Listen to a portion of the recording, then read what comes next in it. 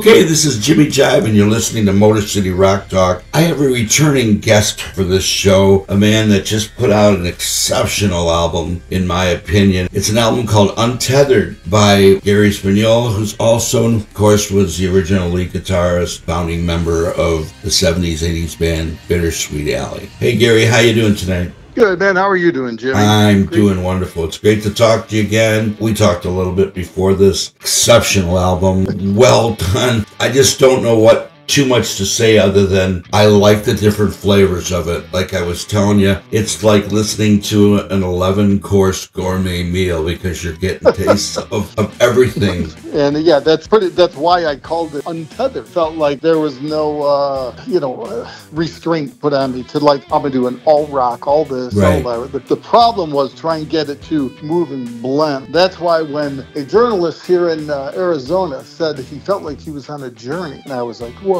that's it. That's what I want to use. So I, I keep telling people if you buy the album, put headphones on, sit back and listen to it in its entirety. Hello, Gary Spaniola here, and I want to tell you about my new album, Untethered, that was just released about a month ago, and it's already received over 100,000 streams on Spotify.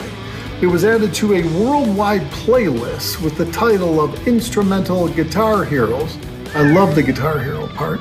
I hope you get a chance to uh, take a listen to it, and I hope you enjoy it.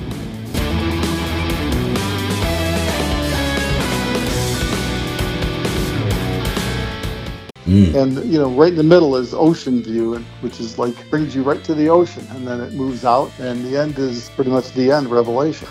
so it's a, but it was it was a lot of fun to make. I actually spent, I don't know if this is a good thing or a bad thing. I spent more time mixing this album than I did recording. Wow. And the reason why I started mixing it, usually I mix. I mean, I've been doing that for what 50 years, so it's you know it's whatever. But I started mixing it, and I go, yeah, that's pretty good. And I listened to it, and then um, some some have I put on the Beatles' Abbey Road, and I noticed, wow, the low end is just unbelievable, swarm and just so clear. So then I went back and mixed it. Then I put on a Pink Floyd album. I noticed the high end was off. So what I ended up doing was making sure whatever album from anyone that I put on after one of my songs, it has to be my song has to be better or equal, or I didn't stop. that's why it took me so long to do it. So that's a pretty big claim to make, and people might go, "He's crazy," but I tell people, give it a shot. You know, Yeah. just don't make sure the volume's the same. You know, because a lot of times if something sounds louder, you think it sounds better. Right. It's louder. So yeah, that doing that was a big thing, and um, yeah, so it was uh, it was it was great fun doing this album. I just like let loose and whatever came to me, kind of just you know let it flow. My name's Gary Spaniola, and I'd like to tell you my story of finding and creating music all over again.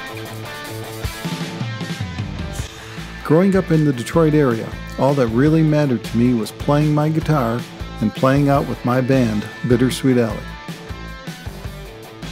Since those days, I've had a great career producing, engineering, mixing, mastering, and performing. But then one day, around 25 years ago, I just stopped playing the guitar completely. I think a different part of my brain took over. I was obsessed with teaching myself computer programming and then designing a home automation system. But that's a whole different story. I started playing guitar again about a year ago, and it took some time to get the fingers back in shape. But eventually it all came together.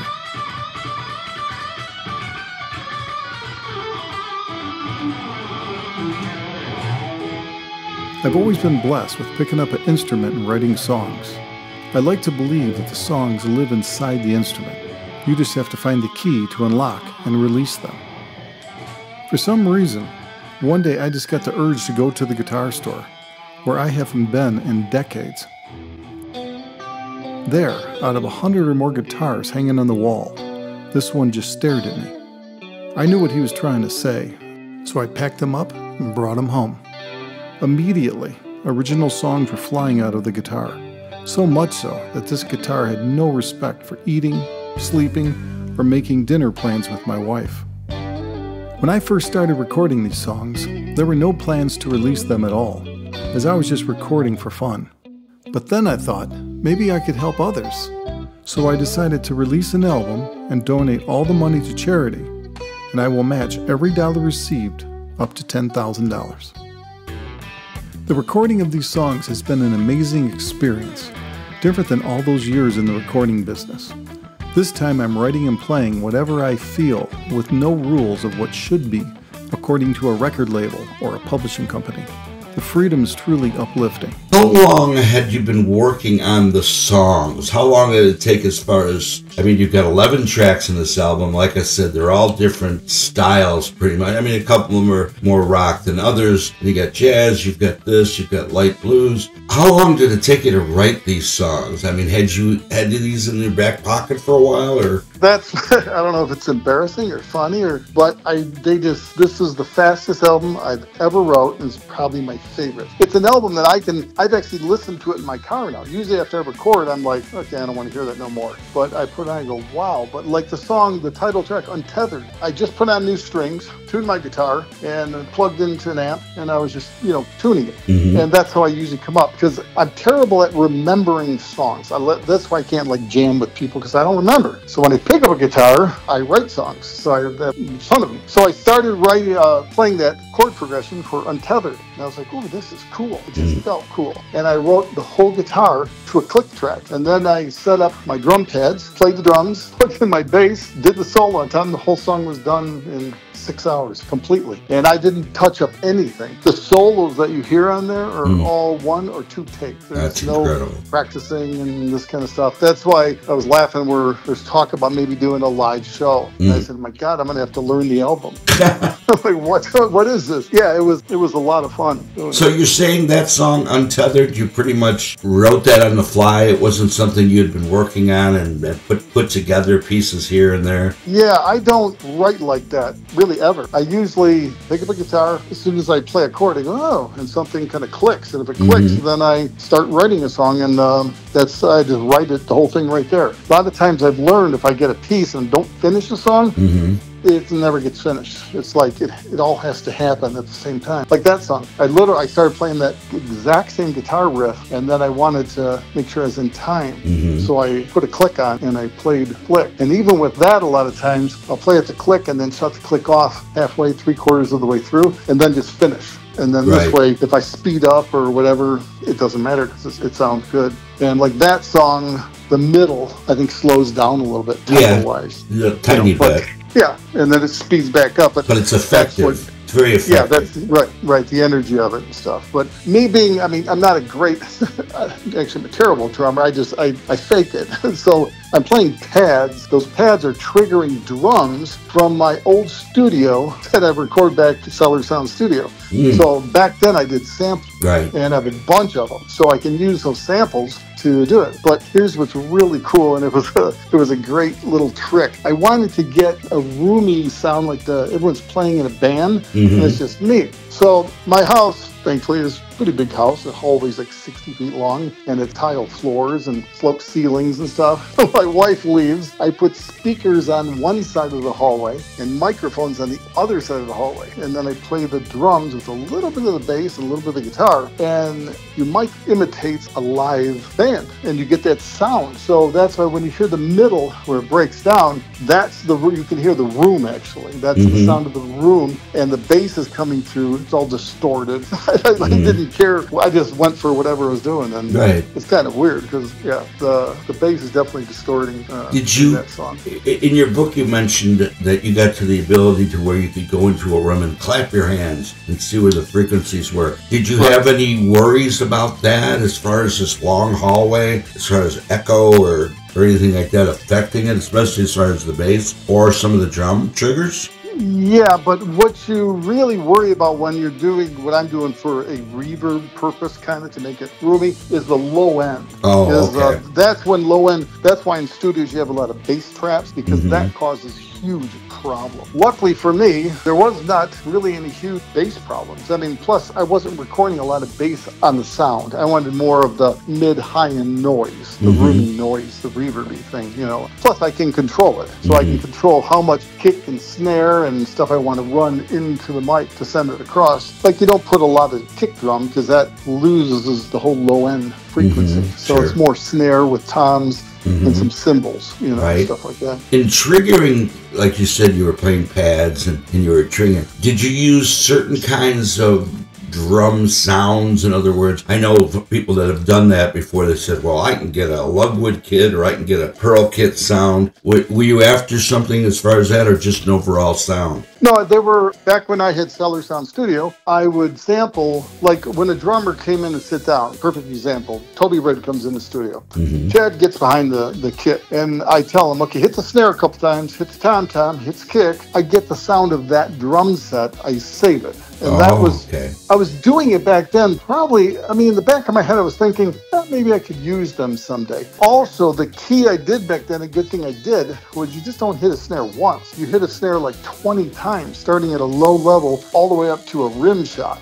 So now, when I'm playing my pad here in the studio, it's triggering 20 samples of snares. So if I get real quiet and it goes, that is triggering those different snare sounds, I and see. it makes it it's real. I mean, Yeah. it sounds incredible. So those sounds are actually mine that I recorded at the studio. Now the advantage I have, of course, over all the other drummers, over what I consider a real drummer that goes Mm-hmm. into the studio and plays, and he has to play perfect. Right. I don't think I could do that. I, I play these pads, and if I screw up, well, the triggers are going into a computer. I can technically just move it a little bit, and I go, there, see, I'm perfect.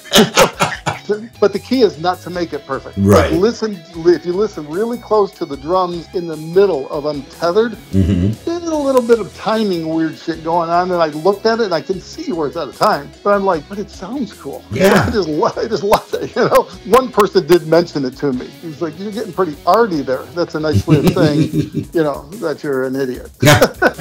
I don't think it was idiotic at all because I wouldn't. I knew you had said before from talking to you that you played some drums, and I thought, wow, he's got really good on those drums over the years because they don't sound. That's what's so amazing about the technology now. They don't sound like sample drum things Yeah. triggered to that at all. I would have thought, you know, oh my God, you're really playing the drums because I knew you were playing everything else. Yeah, but the no, thing, I I- play that kind of quality intensity live up through a whole song. I'm not. That's why I'm not that good of a drummer. I'm not proud. I'm like, eh, you know. But I know what I want to hear. Right. Being in the studio for you know decades, I always you know someone will play a lick and I'll hit talk back and go, you know, why don't you try, you know, like that kind of thing. Mm-hmm. Like, oh. And so it's just the imagination that you know puts you there and stuff. And it's like um, you don't play drums, but you can speak it. Exactly. Yeah. I mean, you know, some of those tracks like Pedestal and stuff. I mean, those that's ninety five percent me playing all the way through. You know, very little adjustments had to be Right. made or something like that. But having triggers is really cool because I can then do. And it's hard by yourself because you're playing stuff. But I can then say later, you know what? That verse is just too long. The first one should only be half, and I just can cut it together, and it all becomes good. But I did not correct any timing with guitars, bass, maybe a little bit on the drums, but everything else is as it lays down. Mm. And I've learned that from years. That's the coolness of the feel. creates a, So- uh, like a live, like you said, a live feel for it, like a live playing live in a studio, more or less. yeah, which is and really, that's, that's really, really cool. hard to get. Yes, it is. Yeah, that's why I worked on the mix so long after because I wanted to make sure there was enough bass and enough high end that it just you know moved the whole track. Yeah, so it's been uh, it, it's been very cool. Yeah, that's fascinating. And we kind of got around on my question earlier and stuff about writing that song all in one, you know, kind of thing. I guess what I was getting at with that more, but I didn't explain myself as much. Yeah, you're writing the guitar riff, you're going through it, but at the same time, in your mind, are you thinking, okay, I've got to make something unique sounding as far as um, the bass line or the way I'm going to trigger these drums or, or fit this in? That's what I meant as far as, as writing You the know, know, song. I mean, kind of what I do is I, um, you probably laugh, but the Untethered song, when after I did the lick, I thought about the bass Mhm. and I thought about Deep Purple. And they, the album with, with that Star, Star or whatever or something, um, I forget the, the song that's on the, the Deep Purple album, the one with the distorted picture on the front. Machine Head, yeah, Highway Star. Yeah, that's it. And his bass is really like distorted and Mhm. I could have done fancy bass and blah blah blah, but when I picked up the bass, first thing I did was just go kong kong kong, and it just like Right. works. It just sounded so cool with that. I just go for what I like. That's Right. it. I, I don't think I really don't think. I was just wondering, you know, I can see your mindset in that. Whereas you thought, okay, this is cool, mm, but maybe I'll try something else to see if this is cooler. It, was there any of that involved in that as far as like yeah, the bass? a bit of yes, there's always a bit of that going on, but usually when you just let the instinct run, Mhm. that kind of rules what happens. I mean, more than not, if I uh, lay a part down and go, oh gosh, I did don't like that feel, it just wrecks the feel of what I was doing. Then I just erase the whole thing and just start it over again. But with this album, I hardly did any of that. Like I was saying to you, the guitar solos are usually one or two at the very most, three attempts. And then what I'll do is I'll go, wow, I love the first solo I played, 80% of it. But this little chunk I love from the second one. Punch it in and just take the second chunk and kind of, you just kind of go from one, you know, to the other and you're next. It's hard to do when you're doing uh, like Ocean View or yeah. the acoustic sound Yes. because it's there's too much feeling and too Mhm. much stuff. There's a funny thing. Uh, I'm recording Ocean View, and that was a tune I just wanted real feel, and that's almost one take, almost. And the reason it's not a one take is because I'm playing back and I hear click, click, click, click, and it's my dog Java walking on the wood floor while I'm recording, and he's just like, I'm going, oh god. So I just did that little part over, but he's also on the album Barking, that Java Extreme. That's him. impression I got of that song is like I could. You were probably kind of semi going for this. I could just picture you in a Hawaiian shirt, just sitting, sitting by the ocean side with your hat and your shades on, with a nice cold drink, just playing that, looking at the waves rolling in, and the girls walking across the beach. I get that whole Jimmy Buffett vibe from that. Yeah, you know, yeah. so much of the album too there like you know the jazz the rock i can hear i can hear al Di Meola stuff in there and i don't mean this to to say you're stealing anything because i know it's not flavors of santana all sorts of stuff and that's what makes it so unique to me and so enjoyable was that what you were going for too as far as all that It was it, it pretty much. I mean, just I was playing just what I enjoyed, Mhm. and that was the whole thing. Like I want to talk, if you don't mind, one second Sure. about the song called "Three Two One Summit Place." Three Two One is my birthday, March twenty first, Mhm. and it's called Summit Place because I believe that is probably my best solo I have ever played on any. And the reason for it is a couple different things. First, I don't know how I came up with those chords. The chords to that song are very strange. They're really weird. And since I don't play theoretically, I don't think in theory, I just play Mhm. like sounds good. Like I don't know, people go, Oh, you're playing in this kind of mode or the scale. I'm like, "Ah, I don't know what you're talking about. Play. So that song was fun to play because you can't play in one key. Songs constantly changing chords and you have to adapt the chord. And it was really cool. And I thought I'd put my birthday on it because I was like, after I finish it, I go, I don't think I can do better. I mean, it's not blazing fast. It's just it's how it feels. And Yeah. it turns out this is honest to God truth. I'm done with the song. I'm uploading it to the distribution company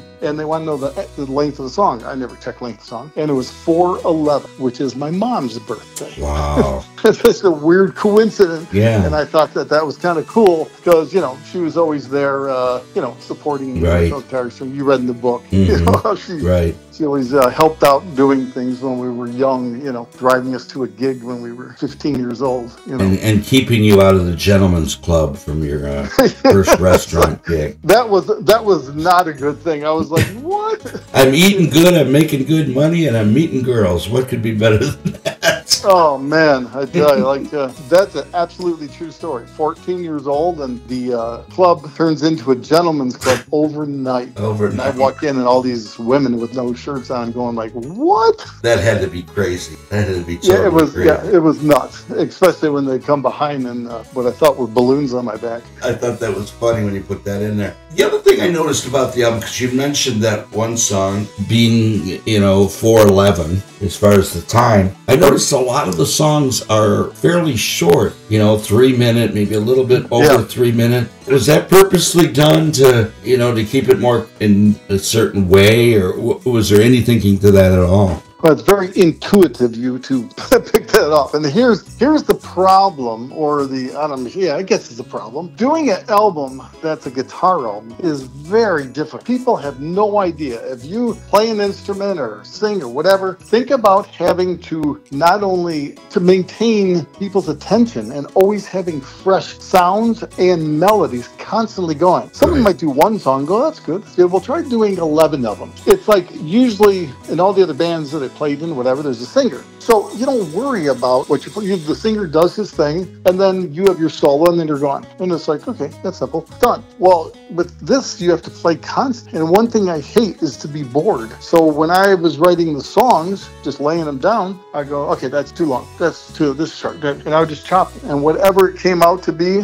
that's what it was. I think Java Extreme is only like two minutes and Mm-hmm. 30 seconds or something, but it's super fast. I mean, it's like 150 beats a minute or something. Right. Yeah, that's a toss up between my dog Java and drinking too much Java.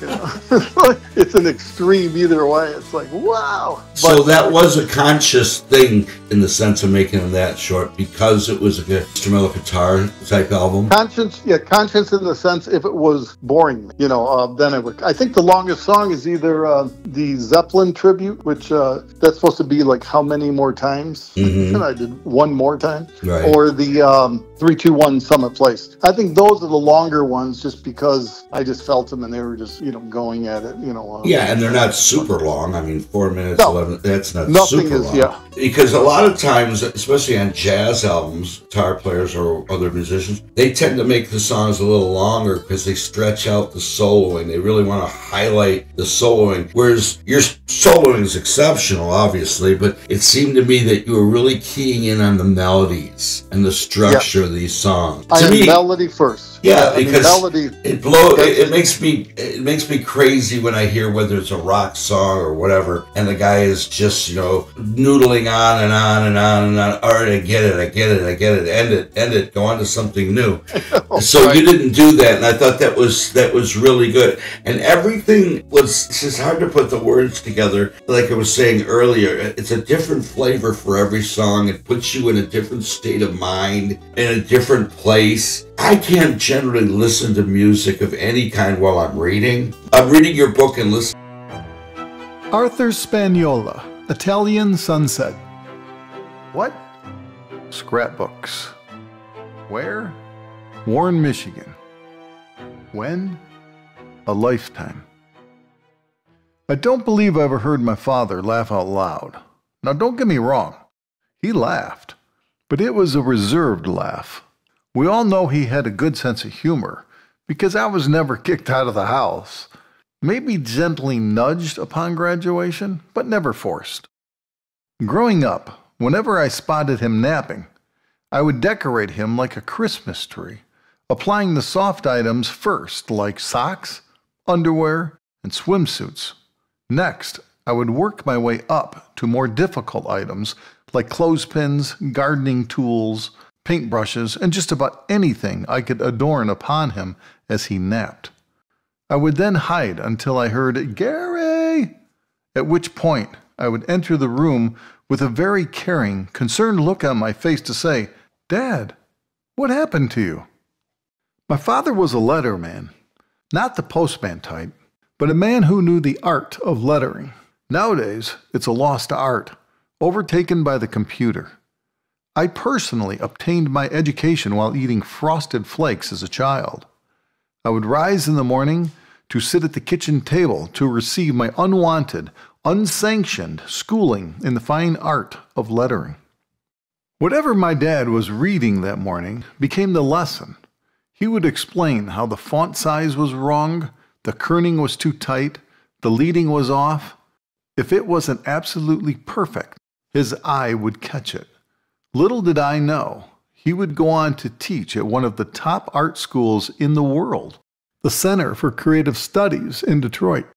And his lessons that I grew to appreciate but never proclaimed would eventually help me in my future endeavors. When I needed a logo for my band or artwork on an album, I would ask my dad, and without hesitation, he would be there to deliver. I knew I didn't give him enough praise, but then again, that's how we both operated. I hope he knows what a beacon he has been for me in my life. It wasn't until I opened my treasured storage boxes, years after my father died, that I learned he kept such intricate scrapbooks of my entire music career. Every article from every newspaper was right there in front of me, carefully cut out and mounted in chronological order. A collection of my career. After reading all the articles in one sitting, even I was a little impressed with myself. But at that moment, I could hear my father say, Never let an achievement go to your head. Take a moment, smile, thank the Lord, and then move on. And that is how I live my life. It's sad when you realize how much people mean to you after they're gone. Their influences, their kindness, their willingness to give without ever asking for anything in return. Don't forget to remind those you love how much they really mean to you while you still can.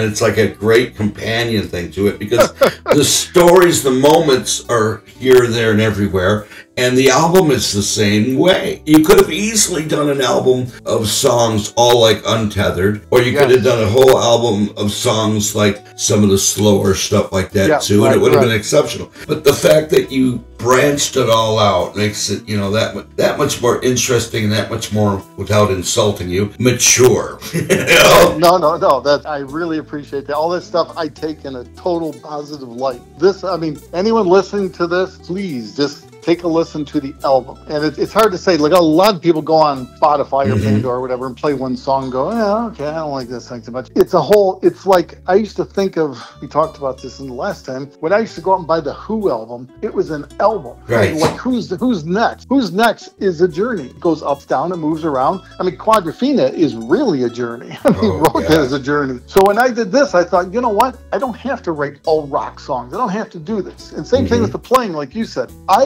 on purpose sometimes didn't play real fast because it, you know, just so it's just like you know, if everyone does it, and it's Yes. like fast is not key. It's what you're playing. I'd rather play two notes that are incredible than play 50 notes in the same space. right And that's what's hard to do. And it takes a long time to learn that and really understand it and evaluate it. obvious and it was like very tasteful. All of it was tasteful. I guess that's another way of putting Oh, this. yeah, I. I love it. I mean, it's fantastic. I, I want everyone to know I am not paying Jimmy to pay me to say this stuff because it's like it's really it's it makes me feel so great. And my reward is for hearing that, and also people know all the money received this goes to St. Jude. Everything from my website, so it's a double bonus for me. I get you know when people love it, that's fantastic. We're Right. giving the money to help kids. Man, it's like how do you get better than that? You know, yeah, like- and it inspires you to want to do more. Well, just like inspiring people to do things. Like it's funny, people read my book. You were talking about Moments, mm-hmm. which is sold on Amazon and Right. Baby on my website. People have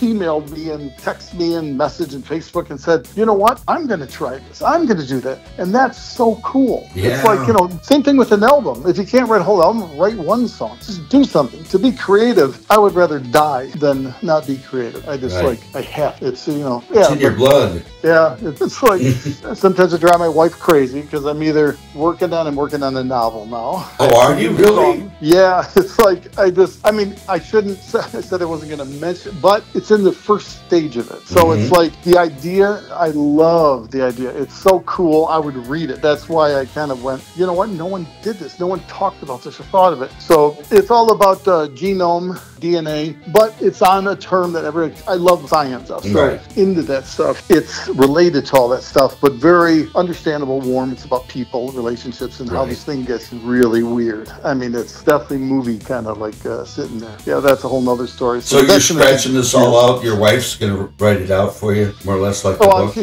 she, she always corrects my English. That's That's like- what I mean. yeah, it was like, there you go. She's like, really? But you know what I did? Uh, there's a thing called Grammarly that I put on the computer and it fixes punctuations and stuff. Mhm. So I told her, I go, look, I don't really need you anymore. Oh, don't say that. No, just I tease her all the time.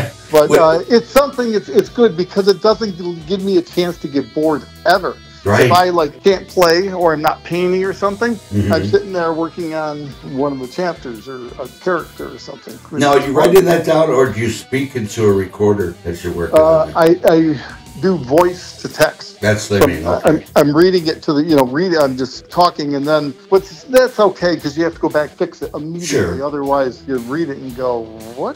doesn't, doesn't catch it all the time. You know, it's kind of crazy. Oh, you know what I wanted to mention was this thing about Spotify, if you don't mind? Because I was, I put out stuff on Spotify and uh, when you put out an album on Spotify, actually, I have a, dis- there's a record company, which is Baltic Records, which I own, and it's distributed Catapult. So when they put it out, they put it out to like 15 different online platforms. I mean, it's just gigantic everywhere. So Spotify then says, well, you can send a song and send it to our editor or whatever, and if they like it, then they'll do something with it. Well, of course, nothing ever happens. Either they don't like it, Right. or you, you didn't pay enough money for their commercials, or these big companies spend tons of money. I Right. don't. I, I'm not doing that. It's St. Jude. I'm not going to spend any money. So I sent untethered and i got a thing back saying we like the song. We're going to add it to a playlist. That was it. I was like okay that's strange. Next thing i see 1500 listeners. Next day 2000 next day 2500 yesterday i got one 3200 today 4000 so it's it's growing i mean huge and it's around the world and it's like so cool that's such a cool feeling to me. It's like they send you a map and you can see, like, we were laughing. Singapore had two lists. Like, okay, you know, so I'm going to have to tour Singapore. Yeah, there you go. That was the joke. I was like, got to do it. But um, I would thought for sure Detroit would be first, but it's Houston is the most listeners, and then Chicago, Dallas. Detroit's number eight. So we need Detroiters to listen to Spotify more. I think, but the thing is, the Detroiters buy the CDs, so they listen to them. The other people are doing the things. But what happens is when one starts playing, it gets on a playlist. Like, like if you go on Spotify and you go, I want to hear rock guitar. Well, they pick a bunch of songs that you're going to hear. Mine happens to be in that bunch. So that's when someone clicks the up the up thumb or the like or whatever Right. that's when it, if there's enough of those it goes into another playlist and another and it starts spreading out. And before you know it it becomes you know it could become huge. So i'm hoping Right. and praying and that would be really cool. So is it in a rock guitar playlist, or is it in a rock instrumental playlist, or, or is it several, like you said? it's on four of them right now. I just saw it for I, uh, we did this interview so i don't remember the name. One of them was called rock hit or something. The names of them are not very enticing. I just Right. kind of like yeah what? You know somehow people find them and they start going or like if you go on spotify and you just click like on my on artist gary spaniola Mhm. or put it in the file then that increases it so that more people will hear it and see it and starts growing because money is as you know spotify pays like nothing Pennies. you know yeah it's like you know i'll, I'll get my spotify check it's like you know four dollars Somebody's making money there, but it ain't the musicians. obviously. no yeah no it's like you know well the beatles the beatles Yeah, well, Michael Yeah. Jackson, the Beatles, Stones, no yeah no right yeah, I like mean, they need the money, you know. Think about if you make point zero zero zero five cents a play, that's like it's nothing. The Beatles make twelve million dollars every three months. It's insane Yeah. for just uh, being played. And Right. It's like wow. So you know That that um, incredible. Now Hmm. you had talked a little bit about there was some interest in possibly putting some kind of band together and coming out here and play. What do you think the actual chances of that? Can you mention any names of any musicians that were interested, or is that still too early? Uh, yeah, it's still kind of early. You know, talking to uh, ex-bass player Dennis Knopf, Tim Marco drums, Hall Rab on drums, and th- there's some great players Yeah. out there that have gotten in touch with me and said, "Hey, want to do this thing?" I'm like, "That's exciting," but Yeah. I don't know. I, I don't know. It, it's still kind of early in the in the thing. If the song starts moving up as it's going, as fast as it's going, I mean, you can't see it going crazy, but hey, who Right. knows? You know. You never know. And uh, yeah, then I would love to put something together, but I don't know how a show would be taken in Detroit if I play 80% instrumental stuff. You know, kind of like, you know, it, it, it, that's a hard sell because a lot of people like they did. I'll do a couple BSA tunes, probably, Right. but Even if you did them instrumental, it'd be kind of cool. Jazz them Hmm? up or what. Even if you did some of the BSA, because Time to Move, you could almost do that as an instrumental. It'd work. You know. No, I mean that song. I, that, that song. I don't. I mean, I don't mind singing three, four songs, but I don't want to have to stand up stage and sing, you know, for an hour. yeah, yeah. No, I get I, that. I, mean, I haven't done that in 40 years, and like I'm not a drummer, I'm not a singer.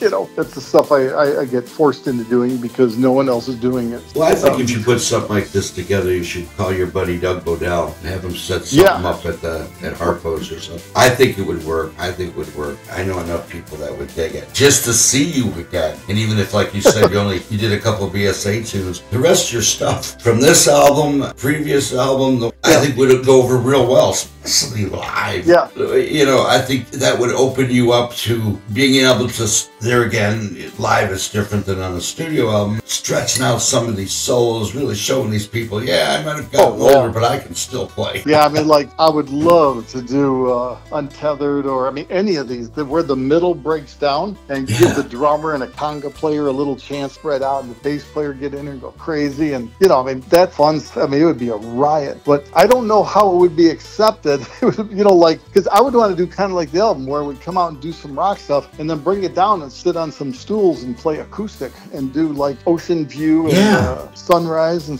mean you know bring it down and then bring it back up and then do you know uh, time to move and a couple BSA tunes and something from in, in Wonderland and then go out with uh, Revelation or something you know Well, our age group is is used to that. Zeppelin did it. There were a number of bands that did that. Crosby, Stills, Nash and Young, did, you know, so it's not out of the realm. Been a lot of popularity over the last 20, 30 years of acoustic sets. Even if you did a, one of the BSA songs acoustically, because there Yeah. again, that would be something that people had never heard. Wow, Right. I've never heard that. yeah or I mean I could always uh, get a couple of the guys to come out and uh, assist me in some Yeah. BSA you know that'd be fun And the other thing, of course, because I know your your heart is always with St. Jude, proceeds for ticket sales go to St. Jude. You can tie that in it, videotape it, record it, do whatever, possibly sell it that way, and put it out on vinyl.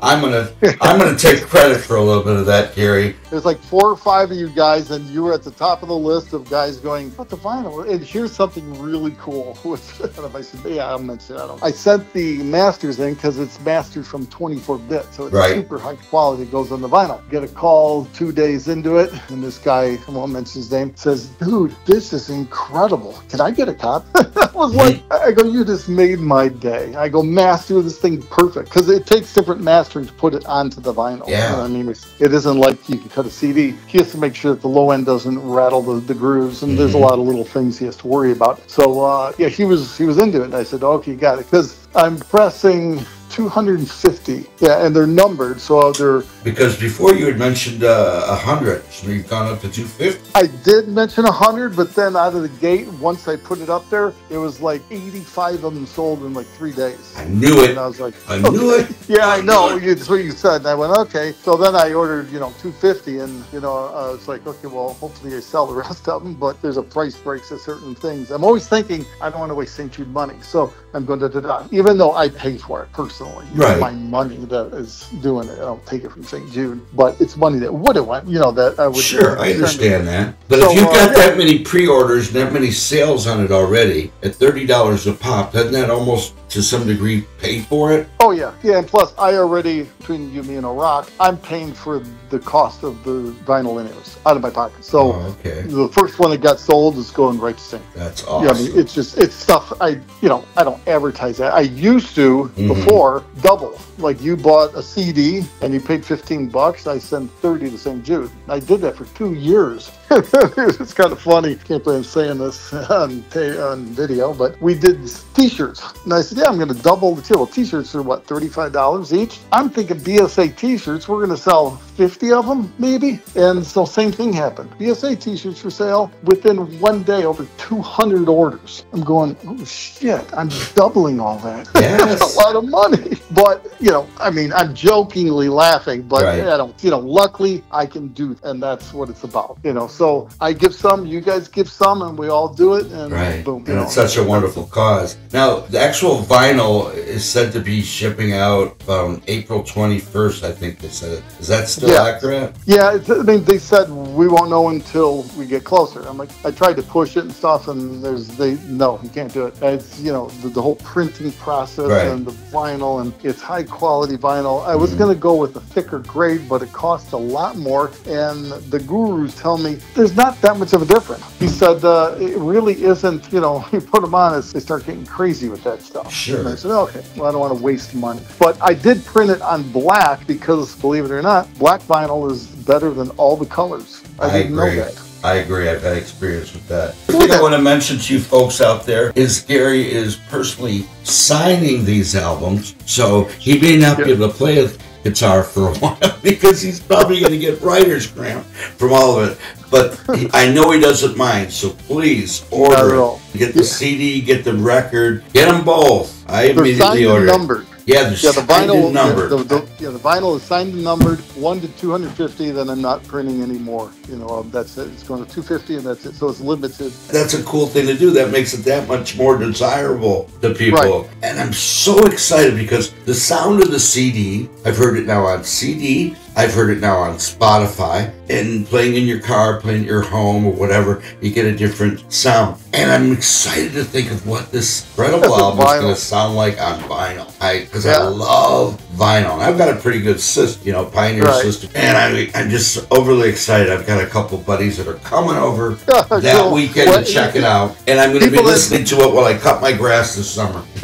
People that know audio, anything that's on a CD is 16-bit. Usually, stuff that's over the air is 16-bit, but it's dithered, so it's pretty bad. The vinyl is pretty close to what I hear sitting in a studio. I record this stuff at 24-bit, 192k. It's like perfect. It's it's unbelievable the, the- how clear it is and just nice. So if he does a great job with the vinyl dropping it down, it should be amazing. You should be hearing what I'm hearing. You know, when I sit in the studio and listen to it. How did you pick this guy or this company to actually do the vinyl for it? How did did you They, research they actually it? did it years and years ago when I uh, was, you know, doing vinyl. You know, long time ago, back when it was uh, cool to do. So, and, and they were still doing it. So I was like, holy crap, you know, which is uh, fantastic. Plus, they're good people. And then when he called and said that he loved the sound and wanted, I was like, cool. that was the right thing I did. You know. So Him yeah. saying he loves the sound kind of to me relates the fact that he thinks this is going to sound pretty good. Yes, on- that's on what I. vinyl. Yeah, he, yeah. He was like, what? There was two guys in the room. The other guy said, you know, I could hear him talking. He goes,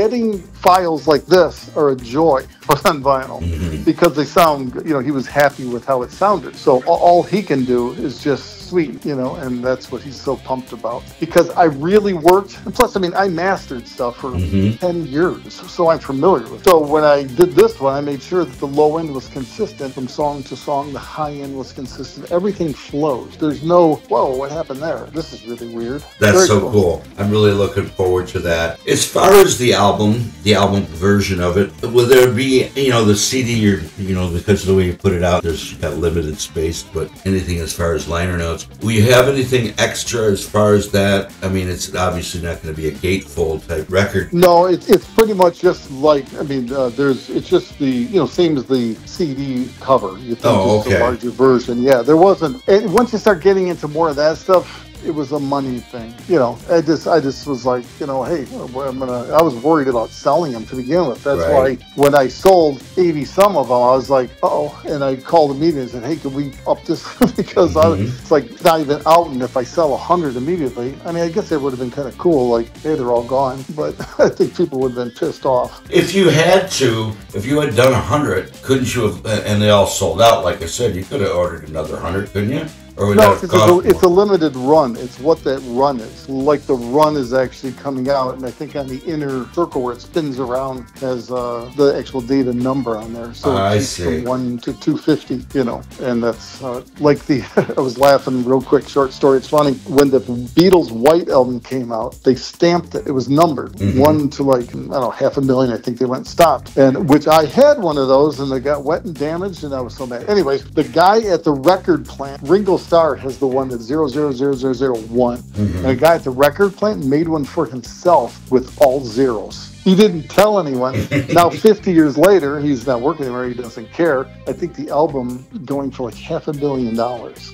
I would imagine. Yeah, he like cheated the system. I was like, wow. So there's not going to be any anything on the inner sleeve with the record. Just be like a No, white sleeve. no. Even though it would have been kind of cool. I was thinking before I was doing it to like write a little piece on each one of the songs. But these songs, since they don't have lyrics, they're more Yeah. emotional. Yeah, You know what I that's mean? Like true. more, and they were written so fast. Mhm. Wasn't like, you know, I mean, literally the, the, the day after, this is really, the day after I wrote in Untethered, which I did all in one day, I was done. I was like, oh, that's pretty cool. The following day, I wrote Ocean. so that was like, talk about a weird departure. And I went, what am I going to do with this record? And that's when I decided to call that song, the first song, Untethered, Untethered, Right. because it's just so different. And I said, I don't care. This is cool. I'm having fun. And it kind of went with it. Now, how do you come up with being an instrumental album with no lyrics or anything? How do you come up with some of these titles?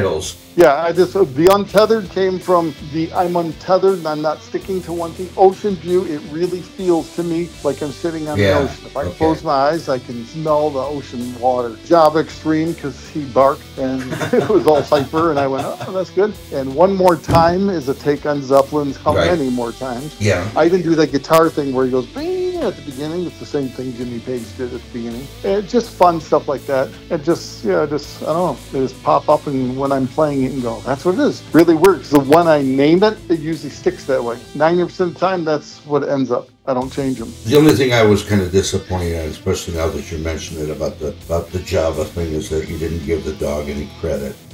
God, I'm getting so much uh, uh, ab- ab- abuse from uh, not giving him credit. He wants too much credit as is, but Come on, Dad, give me an extra cookie or something here. I know he gets he gets he gets part of steak, he gets part of fish.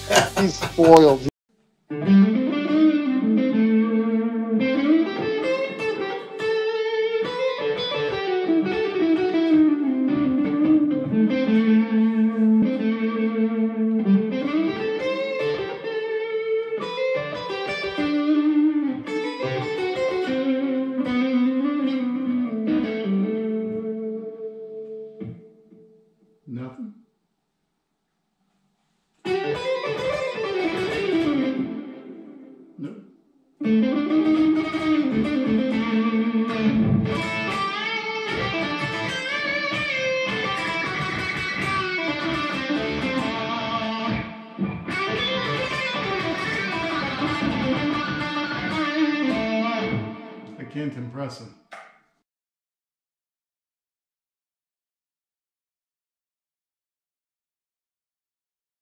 He's a little little rotten little dude. He's fun. He's just like I mean he will sit there and he starts falling asleep and I can see him and I'm I'm playing and he's just sleeping away.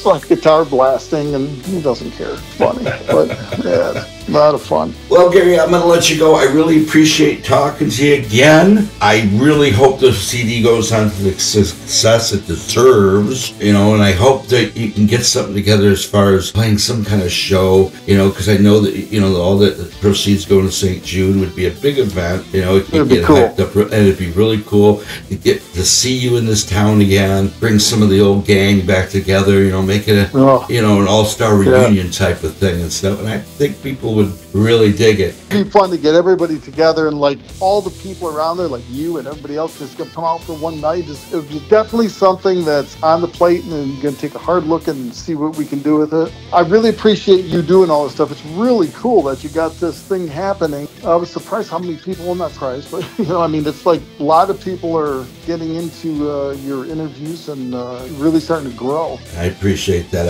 I, I try and work at it, trying to get more You're, and more you're people. very good at, very relaxed. That's what that's what's fantastic. It isn't like that you're drilling on someone, you know. well, I appreciate that. Well, Gary, again, I will let you go. Great talking to you as always. I hope the book continues to be successful. And I, you said something about writing a novel, which is great. Although I hoped you would work. We are going to work up another book like moments, moment, more moments or Yeah, anything. there but could be a moments too, also in between. but just so if people are, this, you can go to Gary Spaniola, S P A N I O L A dot com, and you can get everything there. It's all Yeah. laid out. And I'm sure Jimmy will put a little thing. the oh yeah, I'll put the heading on it this time to remember all that. Beautiful. All right, Gary. Okay, buddy. You Thank have a good night. You bet, buddy. We'll talk again. Okay, Take bye-bye. care. Bye bye.